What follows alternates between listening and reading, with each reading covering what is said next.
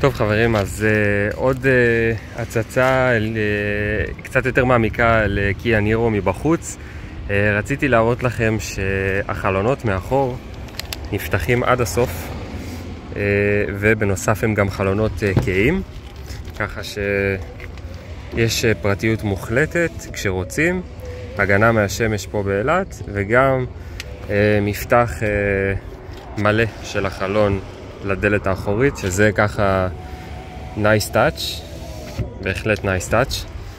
Uh, טוב, מעבר לזה, בסרטון הזה רציתי uh, לדבר קצת על הנתונים הטכניים של הרכב.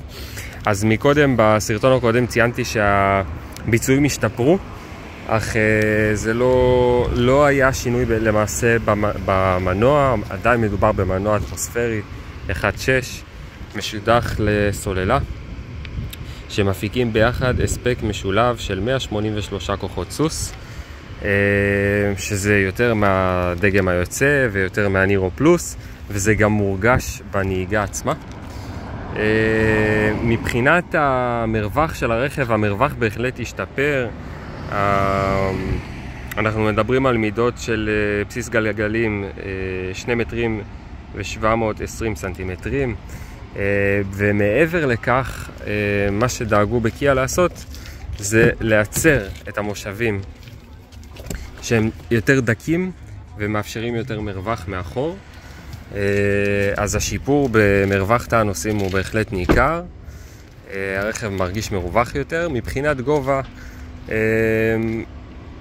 הוא מרגיש אולי טיפונת הישיבה, תנוחת הישיבה יותר גבוהה. דרך אגב, גם הכיסא חשמלי, מה שלא היה ב...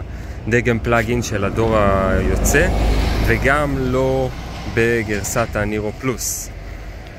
אמ, אז זה ככה מההיבטים הטכניים. גם תיבת ההילוכים לא השתנתה, עדיין מדובר בתיבה פלנטרית אמ, שמעבירה את אה, יחסי העברה בצורה חלקה ונעימה, גם בתוואי נסיעה קשוחים של אה, עליות ממושכות.